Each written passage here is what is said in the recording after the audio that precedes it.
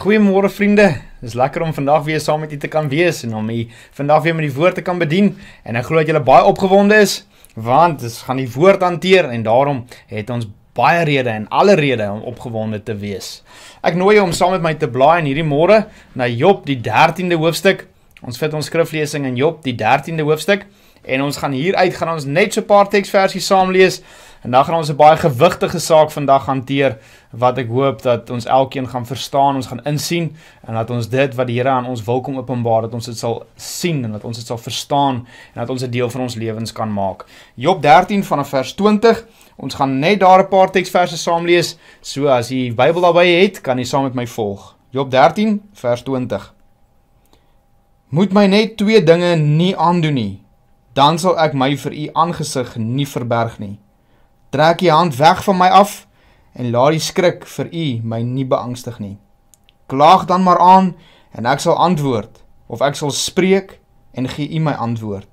Hoeveel is my ongeregtighede en sondes? Maak my oortredinge en sonde bekend. Waarom verberg u u aangesig en hou my vir 'n vyand van u? Ons lees net tot daar uit die wonderlike woord van die Here. Vriende, soos wat ek vir julle gesê het, vandag wil ek met julle praat oor 'n baie gewigtige saak, 'n 'n saak wat baie groot is, 'n saak wat eintlik heeltemal te groot is om selfs in 'n boodskap te probeer vertolk, maar ons vertrou dat die Here vandag die naprediker sal wees en hy, dat hy die een sal wees wat sal lei en dat hy die een sal wees wat in hierdie môre tot elkeen van ons harte gaan spreek. Die tema van vandag se boodskap is hoe om sin te maak van 'n lewe wat nie sin maak nie. Hoe maak ons sin van die dinge wat rondom ons gebeur, van 'n stikkende lewe, van dinge wat besig is om uitmekaar uit te val? Hoe maak ons sin van die omstandighede waarin ons is? Hoe maak ons sin van die dinge wat lyk asof dit al hoe erger en erger begin te word? Hoe maak ons sin van die dinge wat gebeur as die lewe net nie meer logies sin maak nie? En is dit nie waar nie? Ons sien die dinge, ons ervaar sekere dinge, en dit maak nie sin hoekom sekere dinge is soos wat dit is nie. Wat moet ons doen in tye soos hierdie? Baie keer roep ons uit soos wat Job hier uitroep in Job 13 en vra ons ook hoekom? Here, hoekom gebeur sekere dinge? Baie keer wil ons ook vir die Here sê, Here, antwoord ons. Gee vir ons tog net antwoord. Gee vir ons duidelikheid dat ons kan verstaan, dat ons kan insien. En baie keer voel ons so ons voel soos die psalmdigter, soos Dawid in Psalm 13 vers 2 tot 3. En ek gaan dit vir u lees. Die woord sê: "Hoe lank, Here, sal u my altyd deur vergeet? Hoe lank sal u vir my u aangesig verberg? Hoe lank sal ek planne beraam in my siel met kommer in my hart oordag? Hoe lank sal my vyand hom oor my verhef?" En baie keer roep ons ook uit en sê: "Here, hoe lank? Hoe lank gaan hierdie dinge nog aangaan?" Hoe lank gaan ons in hierdie omstandighede leef en in hierdie omstandighede aangaan? Hierdie omstandighede wat net nie vir ons sin maak nie. Ons voel soos Habakuk gevoel het in Habakuk 1 vers 2 tot 3. Hoe lank o Here roep ek om hulp, maar U hoor nie. Skreeu ek tot U geweld, maar U help nie. Baie keer bid ons en ons sê Here help asseblief Here gryp in asseblief Here sien die nood asseblief Here verduidelik of verklaar of ons wil tog insien. Baie keer voel ons ook net so en ons sê ek Here hoe lank? Hy gaan aan in vers 3 waarom laat u my onreg sien en aanskou u die moeite? Ja verwoesting en geweld is voor my oë en daar is stryd en twis begin. En sien ons nie die verwoesting voor ons oë nie sien ons nie die stryd nie sien ons nie die twis nie Die dinge maak nie vir ons sin nie. Die lewe met sy gebrokenheid en al die dinge wat rondom ons gebeur, verstaan ons nie. En ons sien dit en hierdie gebrokenheid, dit het 'n impak op ons lewens. Jy kan gaan lees daar in Prediker 2 Daarvan in vers 21 waar Salomo sê hierdie dinge die lewe is verniet. Al hierdie dinge wat ons ervaar is nietigheid. Hierdie dinge is sleg. Hierdie dinge is besig om ons uitmekaar uit te verskeer. Hy sê daar in Prediker 2 vers 23 want al sy dae hy praat van die dae van die mens die dae waarmee hom vermoei. Hy sê al sy dae en sy be, bemoeienis is verdriet. Selfs snags is hy rus sy hart nie. Alles is te vergeef hy sê die lewe is moeilik, dis 'n verdriet. En ons vandag wat die sosiale media het en wat die nuus het en wat nie net bewus is van dit wat rondom ons gebeur nie, maar wat rondom die hele wêreld gebeur, ons sien die goed en dit affekteer ons. Dit maak ons moedeloos. Hierdie goed het 'n impak op ons dat ons sê, "Maar Here, hoekom gebeur hierdie dinge? Here, asseblief wys tog vir ons wat is die doel?" Ons hoor soveel preke, soveel boodskappe, soveel gedagtes en veral in die laaste paar maande waar mense sê God is getrou, waar die woord vir ons leer, ons hoef nie bekommerd te wees nie. Ons weet die woord leer in Matteus 6 vers 31. Ons hoef ons nie te kwel oor wat ons sal eet of wat ons sal drink of wat ons sal aantrek nie. God sal voorsien. Ons weet die woord leer vir ons wees oor niks besorg nie. Ons weet al hierdie dinge. Die woord leer dit vir ons. Ons sien dit, maar ten spyte van dit begin ons dalk miskien te wonder, waar is die Here? Hoekom gebeur hierdie goed? Hoekom lyk dit asof die lewe en die dinge wat rondom ons is meer en meer nie sin maak nie? Nou, terwyl ek voorberei het, het ek gedink, waar begin 'n mens indien ons wil sin maak van die dinge wat ervaar word? En dis 'n baie moeilike vraag. Waar moet ons begin? En dis hoekom ek gesê het aan die begin, hierdie is 'n gewigtige boodskap, 'n gewigtige saak. En het ek uitgekom by hierdie eerste gedagte. Waar begin ons as ons wil sin maak van die lewe? Ons moet begin by hierdie gedagte dat maak nie saak wat nie. God bly in beheer. En moer mooi wat ek sê vriende, ek sê maak nie saak wat nie. Maak nie saak wat ons tref nie. Al is dit goed en al is dit sleg. God bly altyd in beheer. Die woord gee dit vir ons keer op keer daardie bewys dat God in beheer is.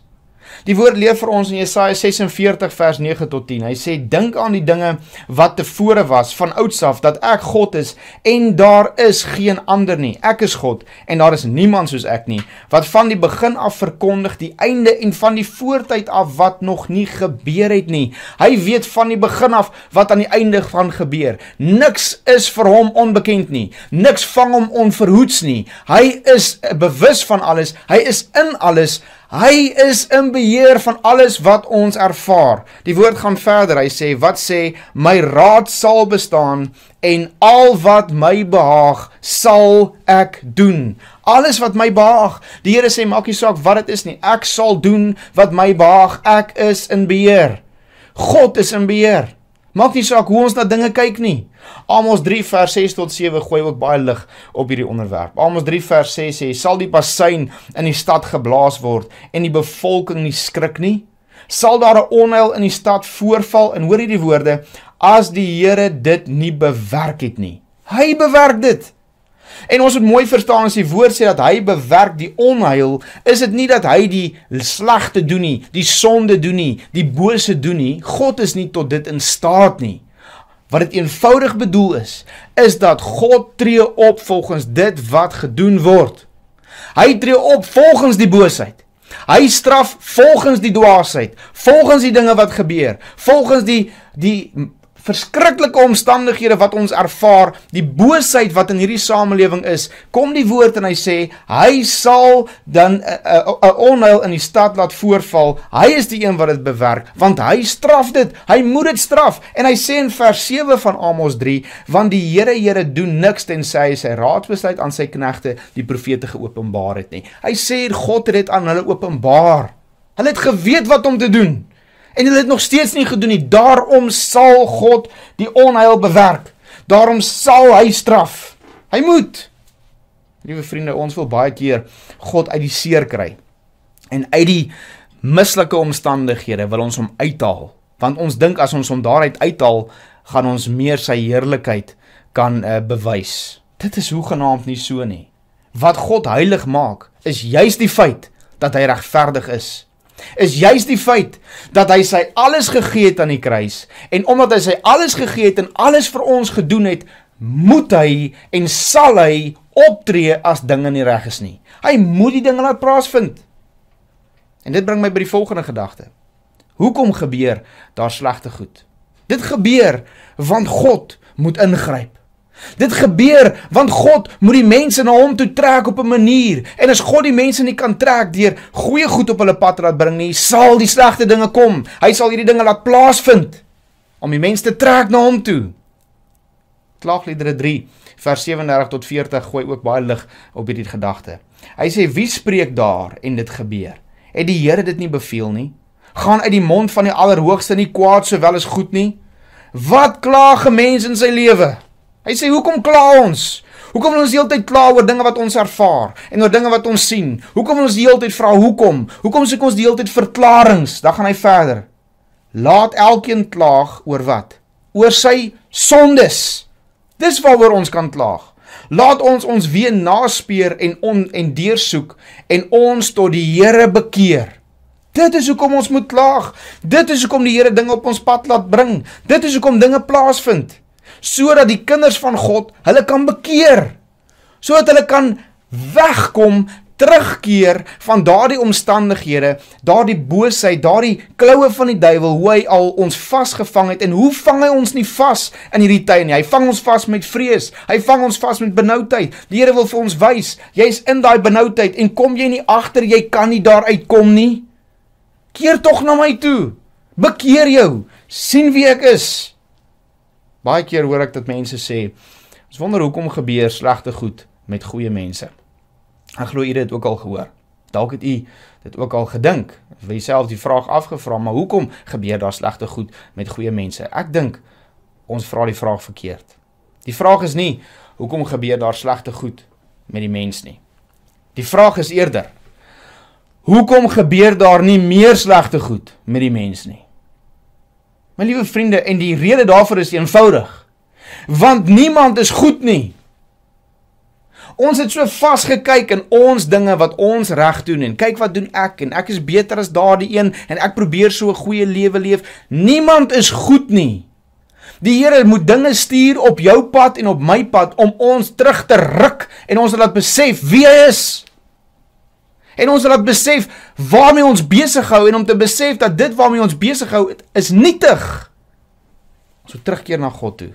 Die woord leer in Romeine 3 vers 10 tot 12 rondom hierdie gedagte dat niemand is goed nie. Hoor wat leer die woord. Hy sê soos geskrywe is, daar is niemand regverdig nie, selfs nie een nie. Daar is niemand wat verstandig is nie. Daar is niemand wat God soek nie. Hulle almal het afgewyk, saam met hulle ontaard. Daar is niemand wat goed doen nie. Daar is selfs nie een nie. Ons in ons eie vermoëns en krag is nie goed nie. Al wat ons goed maak is die krag van God, is die evangelie van Jesus Christus wat ons lewens kom omkeer en wat ons koningskinders maak en dan is dit sy lewe wat hy in my stort wat my maak dat ek iets is. Dis hoekom Paulus sê ek sal aan niks anders roem nie behalwe aan Jesus Christus en hom as gekruisigde. Dis waarna ek sal roem want dit is al wat my iets maak. En as ons deur moeilike tye moet gaan, sodat die Here dit vir ons moet kom openbaar, om vir ons te wys dat dit gaan oor hom, om vir ons te wys dat hy is die een wat verheerlik moet word, om vir ons te wys dat ons vir hom moet werk, vir hom moet lewe. My liewe vriend, as ons praat van hom lewe, bedoel ons dit presies soos wat ons dit sê. Ons moet elke oomblik van die dag vir hom leef. Dit gaan oor hom. Gaan alles oor hom. En as ons van dit af begin wegbeweeg, moenie verbaas wees as die slegte dinge gaan gebeur nie. Moenie verbaas wees as die Here dinge op ons pad gaan stuur nie, want hy wil ons terugtrek. En dis wat hy sê in Hebreërs 12, hy is ons Vader wat ons moet tugtig en wat ons wil tugtig totdat ons terugkom en sodat ons kan sien wat is sy Vaderhart en sodat ons dit kan leef wat hy ons voorgeroep het en waartoe hy ons wil stuur. Ons staan voor 'n heilige God wat ons wil vorm, wat mense in hom wil trek Daarom sal sleg slegte dinge aanhou gebeur. Moenie na dit kyk en vra hoekom nie. Kyk na daarna en vra waar wil U my gebruik en hoe wil U my vorm? Dit gaan alles net oor hom. Die volgende gedagte wat ek kortliks wil hanteer is die Here openbaar nie aan ons hoekom hy sekere dinge toelaat nie. My liewe vriend, ons moet besef. Ons moet besef wie ons is. En ons moet begin besef wie hy is. Die Here openbaar nie aan ons alles nie. Ons sê baie keer, Here, hoekom? Ons vra dit. Ons wil hê die Here moet dinge vir ons verklaar. Maar ons moet vandag besef, ons kan nie die dinge begryp wat God in sy almag bepaal nie, wat hy beplan nie. Ons is te klein. Ek lees van 'n figuur in die Bybel, 'n 'n 'n persoon, 'n baie bekende persoon met die naam van Job. Job het nie geweet hoekom die dinge gebeur het wat in sy lewe gebeur het nie. Nie een keer in die hele boek Job kom openbaar die Here vir hom hoekom hy hierdie dinge oor sy lewe toegelaat het nie. Nie een keer nie. Wat kom wys hy vir hom nadat Job sy vriende geraadpleeg het, nadat sy vriende vir hom raad gegee het? Wat nie regtig hom gelei het nie. Nadat Job baie keer gevra het, nadat Job baie dinge gesê het, nadat hy gesê het, "Maar Here, hoekom lyk dit asof die onregverdige meer voordeel trek en dit lyk asof die regverdige meer en meer agteruit gaan?" Baie dinge gevra. Jy kan gaan lees, ons kan ons vereenselwig met so baie dinge. En dan aan die einde van Job, in Job 38 tot 41, kom God aan die woord. En wat sê God vir Job? Hy verduidelik nie vir hom hoekom die dinge gebeur nie. Hy sê nie eendag vir hom Job wees rustig, weet ek en die duiwel het hierdie gesprek gehad, ons wil net kyk of jy nog steeds getrou gaan bly aan my nie. Nee, wat kom doen God met Job? Hy kom openbaar aan hom die almag en die grootheid van wie God is. Dis wat hy vir hom kom doen. My liewe vriend, dis wat ons ook nodig het. Ons het nie in hierdie tyd meer verklaringe nodig nie. Ons het nie in hierdie tyd nodig om sin te maak van die lewe nie, want ons kan dit nie verstaan nie. God is groter. Die woord leef vir ons in Jesaja 55. Sy wee is nie ons wee nie. Hy is in die hemel, ons is op die aarde. Wat weet ons? En dis wat God vir Job kom wys, dit wat is wat hy vir hom kom openbaar. Hy sê vir hom deurgangs, sê hy vir hom, Job, jy kan nie die dinge verklaar nie. Jy kan nie my skepping verklaar nie. Dis wat hy vir Job sê in Job 38 in vers 1 tot 38, daardie hoofstuk, in in daardie hoofstuk. Hy sê vir hom, "Wat weet jy?" Job het na hom toe gekom en hy het hierdie vraag gehad en ek dink Job moes gedink het hy het met groot eh, wysheid gepraat en hy het met groot nederigheid gepraat maar die Here kom in Job 38 vers 2 verskoon tog. En hy sê vir hom wie maak die raadsbesluit daar tot duisternis met woorde sonder kennis? Hy sê vir hom Job dit jy praat asof jy nie kennis het nie. En as ons nou 'n bietjie verder gaan lees en ek wens ek het tyd gehad om alles aan u te verduidelik maar Job is die enigste een wat met kennis gepraat het. Ons sien in Job 42 vers 7 dat God vir sy vriende gesê het: "Julle het nie met wysheid gepraat nie. Hoekom het julle nie met die kennis gepraat soos my knegt Job nie?" Maar hier sê hy vir hom in 38 vers 2: "Wie maak die raadsbesluit daar tot duisternis met woorde sonder kennis?" Waarvan praat hy? Hy sê eenvoudig dat Job het gepraat sonder openbaringskennis van wie God is. My liewe vriende, ons het nodig nie om meer te weet nie. Ons het nodig nie om meer sin te maak van die lewe nie. Ons het nodig om te besef die grootheid en die almag van God. Dis al wat ons nodig het. Dis al wat ons tot na hom toe gaan trek. Verskuis, ekskuus.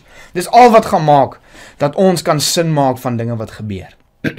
is om te besef daar is niemand soos hy nie. Dan sien ons in die, in Jesaja 8 en uh, Job 38 kom die Here en hy sê Job kan jy my skepping verklaar? Kan jy verklaar die dinge wat jy rondom jou sien? Doen nie self daardie moeite. Gaan lees Job 38 tot 41. Laat God homself aan jou openbaar. sien die grootheid van wie hy is. As ons maar net kan sien, as die skille van ons oë maar net kan afval, as ons net kan besef daar is niks en niemand wat met die almag en die grootheid van God kan vergelyk nie. hy sê vir hom, "Kan jy die skepping verklaar?" Kan jy die grense van die see verklaar? Kan jy die son verklaar? Kan jy die dieptes en die omvang van God verklaar? Hy sê daarso in in in Job 38 vers 16: "Het jy gekom tot by die bronne van die see en het jy rondgewandel in die binneste diepte van die wêreldvloed?" Hy sê, "Kan jy begryp hoe diep die see is? Kan jy verstaan hoe groot is hierdie skepping?" Hulle reken dat die diepste punt net so vir interessantheid van die see wat ontdek is, is net so oor die 11 km. 11 km onder water. En nou gaan ons praat ons nie eers van dit wat bo die hemele is nie, die uitspansel, die skepping, die grootheid. Hy sê vir hom Job, kan jy hierdie dinge verstaan? Hy sê in Job 38 vers 18: "Omvat jou begrip die breedtes van die aarde? Kan ons snap die omvang, die breedtes van die skepping, van die hemelruim? Ons kan nie. Dis te groot vir ons." Hy sê vir hom Job, kan jy die reën verklaar? Kan jy reën stuur? Hy sê Job, kan jy die verseisoene verklaar? Kan jy die natuur verklaar? Kan jy die dinge wat gebeur? Maak dit vir jou sin? Kan jy dit verklaar? Hy gaan verder in Job 39 tot 41 en wat hy hier sê is is eintlik Job, as jy gedink het om 'n ding te verklaar is moeilik genoeg. Dink daaraan. As jy dit nie eens kan verklaar nie, hoe kan jy dit in stand hou? Die skepping, hoe kan dit in stand gehou word deur ons as mens? My liewe vriend, dink aan die natuur. Dink aan die dinge wat net gebeur. Die mens kan dit nie by hulle self indink hoe die natuur net plaasvind nie. Hoe hulle weet wanneer om te broei. Hoe hulle weet wanneer om om om om om dinge te doen. Hoe hoe, hoe die voeltjies weet wanneer om in die winter weg te gaan en terug te kom. Allerhande dinge, die hele natuur, die omvang daarvan. Ons kan dit nie in stand hou nie. Ons kan dit nie verklaar nie. Ons kan dit nie verstaan nie. God is groter as wat ons ooit kan dink. Dis wat die Here vir Job wil kom wys. Hy wil vir Job kom wys, Job, jy weet nie. Jy het nie idee hoe groot ek is nie. En hy wil vir hom kom wys, jy's om vir hom te sê, moenie vir my vra hoekom nie.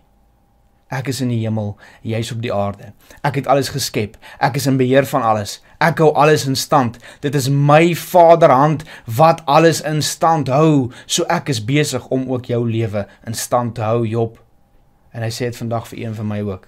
Die Here is besig om ons lewens in stand te hou. Ons mag dalk nie verstaan hoe hy dinge doen nie. Ons mag dalk miskien nie verstaan waarmee hy besig is nie. Maar ons kan dit in elk geval nie verstaan nie want hy's groter as dit. Al wat ons moet doen is om op hom te vertrou met ons hele hart. Dis waar geloof inkom. Om op hom te glo en te weet hy is in beheer. Nadat God aan Job openbaar het hoe groot hy is, sien ons Job se reaksie. Ons sien dit in Job 8 in in in in Job 39 sowel as in Job 42. Ek wil eers vir julle lees in Job 39. Toe het Job die Here geantwoord en gesê: "Kyk, ek is te gering. Wat kan ek u antwoord? Ek lê my hand op my mond. Eenmaal het ek gespreek, maar sal nie meer antwoord nie. Ja, twee maal, maar ek sal nie voortgaan nie." Hy sê: "Here, ek kan niks meer sê nie. Ek is te gering." Here, U is groter. U is groter as wat ek ooit kan dink. Mag ons op daardie punt kom dat ons sê, Here, ons gaan ophou om te vra. Ons gaan ophou om te probeer om U na ons vlak toe te bring en dinge te probeer verstaan. Ons gaan begin om stil te bly en om U te sien vir wie U is. Dis wat die woord bedoel as hy sê in Psalm 46 vers 11. Laat staan en weet dat ek God is. Man, wees net rustig. Hou op om alles te wil uitredeneer. Hou op om in te beheer, om in beheer te wil wees van alles. Laat staan, wees stil en weet wie ek is. Besef wie ek is. Dit is wat ons nodig het. Dit is wat ons nodig het om te doen. Ons kan nie sin maak van die dinge wat gebeur nie. Ons moet toelaat dat God homself aan ons openbaar. Die Here kom openbaar verder aan Job die grootheid en sy regverdigheid en dan sien ons Job se reaksie in Job 42 vers 1 tot 6. En dis die gebed van my hart dat elkeen van ons op hierdie punt sal uitkom waarby Job hier uitgekom het. En as hy nog nie daarby uitgekom het nie, pleit ek by u asseblief soek die Here dat hy hier sal uitkom dat hy hom sal sien. Toe het Job die Here geantwoord en gesê: "Ek weet dat u alles kan doen en geen plan vir u onuitvoerbaar is nie." Sal dit wonderlik wees as ons op daardie punt kan kom en sê Here, ek weet, ek weet dat U alles kan doen want ek sien en ek verstaan en ek besef en ons kan dit nie eers verstaan nie, maar ek besef nou U is te groot. U is groter as ek ooit sou kan dink. Here, ek kan nie meer bekommerd wees nie. Ek weet dat U alles kan doen. Ek weet dat U geen dat geen plan vir U onuitvoerbaar is nie. Dan gaan hy verder. Wie verberg die raadsbesluit daar sonder kennis? So het ek dan gespreek sonder om te verstaan, dinge te wonderbaar vir my wat ek nie begryp nie. Hoor tog en ek sal spreek en ek sal U ondervra en onderrig U my. sien dis waar by ons moet kom. Here kom wys u my. Ek wil nie vir u vra wat ek wil hê nie. Ek wil hê u moet uit u almag en uit u raadsbesluit moet u aan my kom toon. U moet my onderrig. En dan sê hierdie woorde: Volgens hoor sê het ek van u gehoor. En dis die probleem van ons dag. Mense hoor van God. Hulle dink hulle weet wat die Here wil hê. Hulle dink hulle weet hoe God werk en hoe hy dinge in plek laat val. Dit help jou niks. Jy gaan nie sin maak van die lewe as jy so na die Here gaan kyk volgens wat ander mense vir jou sê en wat jy dink God is nie. Hy sê volgens hoor sê het ek van u gehoor. Dan sê hy hierdie woorde, maar nou het my oog u gesien. Het jy oog al God gesien? Besef u vandag dat God groter is as wat jy ooit kan begryp. Besef dit hou daaraan vas en besef omdat ons nie kan weet nie. al wat ons moet doen is om op hom te vertrou. Is om te glo. Dis wat hy sê die regverdige sal deur die geloof lewe, want ons kan nie sin maak nie. Ons moet geloof hê. Ons moet weet hy is in beheer. Soos Hebreërs 11, al daardie geloofshelde het nie geweet wat die toekoms inhou nie, maar hulle het vasgehou want hulle het geweet wie God is. Het jy o God al gesien? As jy o God gesien het, sal jy staande bly. Sal nie moedeloos raak nie. Jy sal besef wie hy is. Asseblief my liewe vriend. Ons nie 'n kits kits manier om dinge te ontvang nie. Soek die Here. Laat hom toe dat hy homself aan jou en aan my kom openbaar. Dit is wat ons nodig het. Wat moet ons doen wanneer die lewe nie vir ons sin maak nie? Ons moenie probeer verstaan nie. Ons moenie probeer vir die Here vra hoekom nie. Ons moenie probeer vir die Here sê ag Here, gee tog vir my 'n antwoord nie, want ons kan dit nie verstaan nie. Wat ons kan doen is om hom te vertrou, om hom te soek sodat ons kan besef wie hy is en sodat ons kan besef wie ons is. Dit is wat ons moet doen. Ons moet hom vertrou vir en ons moet sy woord sien wat hy ons openbaar want hy kom openbaar aan ons dit wat ons nodig het. En hy kom openbaar vir ons baie dinge maar onder andere Psalm 103 vers 8 barmhartig en genadig is die Here lankmoedig en groot van goedertierenheid. Dis wat hy is. Hy's met ons. Hou vas aan hom. My liewe vriend, ek het nou baie dinge gesê in hierdie môre. En ek hoop daar is iets wat jy saam met u kan vat en iets wat vir u duidelik geword het. Maar wanneer die lewe nie meer sin maak nie, kom ons hou op om die hele tyd te vra hoekom, waarom? Here antwoord.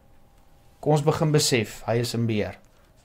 Hy is in beheer. Hy laat dinge plaasvind. En hy doen dit om watter rede? Hy doen dit sodat ons nader aan hom kan beweeg. Daar is 'n rede hoekom dinge gebeur, besef dit ook. Hy wil sy kinders na hom toe trek. Hy wil verlorenes na hom toe trek, na hom toe bring om vir die wêreld te wys, julle maak staande, staat op julleself en op julle dinge. Hierdie goed gaan verby, maak staat op my. Ek is die onveranderlike. Ek is die rots. Ons moet vandag besef dat ek en jy die rede daarvoor nie kan begryp nie. Dit is te groot vir ons. Sy wee is te groot vir ons. Ons moet dit net vertrou en glo en weet hy is in beheer en hy weet wat hy doen. Ons moet besef wie hy is. Laat hom toe dat hy homself aan jou kom openbaar en berus in sy woord. In die woord wat hy vir jou gee. Mag die Here die naprediker wees van hierdie woord en mag hy hierdie woord diep in elkeen van ons harte bære. Amen. Kom ons bid saam. Hemelvader, ag Here, hierdie gedagte is baie groot. Hier daar is soveel dinge wat ons nog daar rondom kon sê. Soveel dinge wat daar is wat wat ons nog moet ontdek. En ek pleit by U, Here, dat elkeen van ons op daardie plek sal kom. Dat ons sal stil raak. Dat ons ons sal instel op wie U werklik is. Op nie ons gedagte van U nie nie volgens wat ons van hoor sê gehoor het en die gedagte wat ons in ons kop gevorm het van hoe ons dink u moet wees nie. Maar dat ons u sal vertrou dat u self aan ons kom openbaar soos wat u is. En laat ons ook kan sê soos Job gesê het, my oog het u nou gesien. Here die oomblik as ons op daardie punt gaan kom, dan hoef ons nie meer te vra, Here, hoekom maak die lewe nie sin nie? Want dan gaan ons besef daar is 'n groter hand wat oor ons die waak hou en wat ons lewens rig. En daar's niks wat ons so gaan bemoedig soos dit nie. Baie dankie Here dat ons hierdie dinge na U toe kan bring. Baie dankie dat ons vir U kan vra dat U ons sal veilig hou, ons sal beskerm en dat U ons getrou sal hou om te doen wat ons behoort te doen. Amen. Baie dankie vriende dat u vandag ingeskakel het op hierdie woord. Mag die Here u seën en mag jy 'n wonderlike en 'n voorspoedige week hê. Totsiens.